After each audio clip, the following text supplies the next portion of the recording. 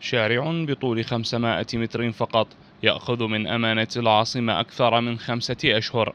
فبعد أن رفع الإسفلت القديم عن شوارع منطقة الوشاش عولج نصفها وترك النصف الآخر. دون أن يتم فيه العمل على الرغم من قرب دائرة بلدية المنصور منها وأيضا جميع العاملين في هذا المشروع هم من ذات المنطقة. إحنا هذا يعتبر شارع تجاري.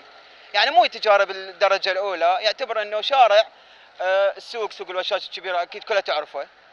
أو ثاني شغلة بي مجمعات بي محلات بي دور سكنية. آه، يطلع على المنصور أهم شغلة هاي.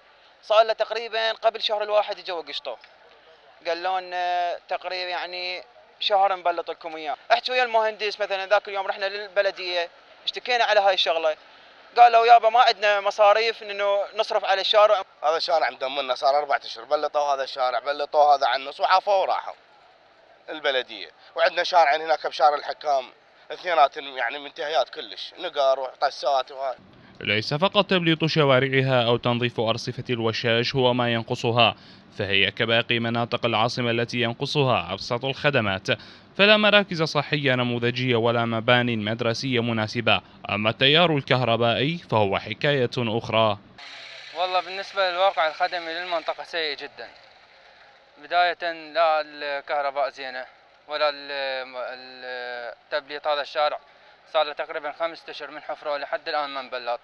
اضافه إلى المراكز الصحية تعبانة هنا مركز صحي تقريبا هدموه قبل سنتين أو ثلاثة ولحد الآن ما كامل. آه، أحكي لك على الكهرباء. يعني هسه إحنا كل خمس ساعات ست ساعات تجينا ساعتين باليوم.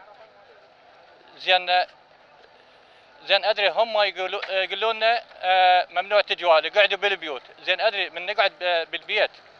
غير يوفروا لنا الكهرباء.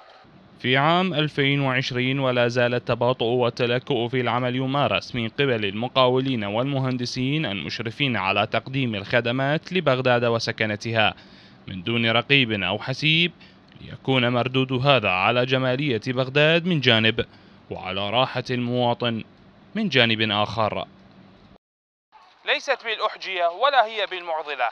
عمال وإسفلت ومكائن وتحل القضية برمتها.